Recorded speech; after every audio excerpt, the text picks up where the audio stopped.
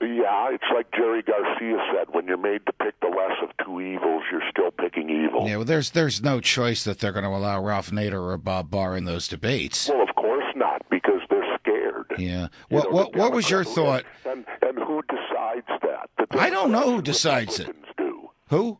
the Democrat, the Federal Debate Commission, which is nothing but a puppet for the Democrats and Republicans. You know, in '92, all all presidential debates fell under the League of Women Voters. While Perot scared them so bad when he got one out of five votes that they had to do something to eliminate that. What did you think of the choice of Sarah Palin? What do I? I don't think of it. Well, How's that for an answer? Well, I, did- you know, they're going to pick who they want. I'm not going to vote for either of them. So what do I care for who they pick? but I don't know. As you live in America, she could be vice president. Yeah, and that you know, and with a guy who's 72 and has battled cancer three times, uh, is she qualified? I But she so. she was a governor and is a governor in some respects, not unlike you, believing Oh, in small government. me. Very unlike me. She hasn't even held the office two years. Hmm. You spend your first two years just getting acclimated to being a governor. I can say that with experience. Everybody wanted me to run for president in 2000 after I'd only been governor for less than two years. I felt I wasn't qualified or ready to prepare to do that, and I feel the same way about her. She hasn't even learned how to be a governor yet. Will you run for something soon? No, Why not? why not? Because I've been there, done that, and uh, to me, it's like uh, subjecting yourself to going back to jail. So what do you want to do?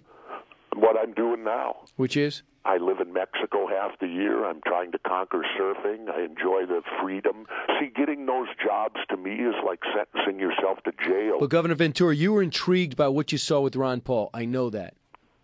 I'm intrigued by the philosophy of what I saw. You there. could, if you got elected, governor of Minnesota, senator from Minnesota. I'm just throwing those out Yep. because you held one of the jobs and, and did so well in it already. You could put those ideas into into public policy, into law.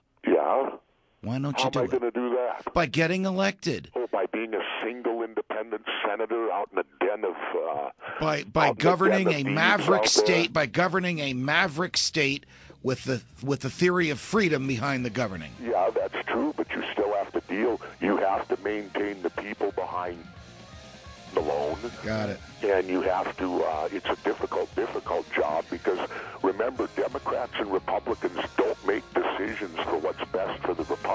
Got it. Got it. Governor, it's always a pleasure. Thanks for joining Trent us. Trent Lott said the same thing. He did. Trent Lott's frustrated. Brian and the judge. Brian and the Judge, only on Fox News Talk.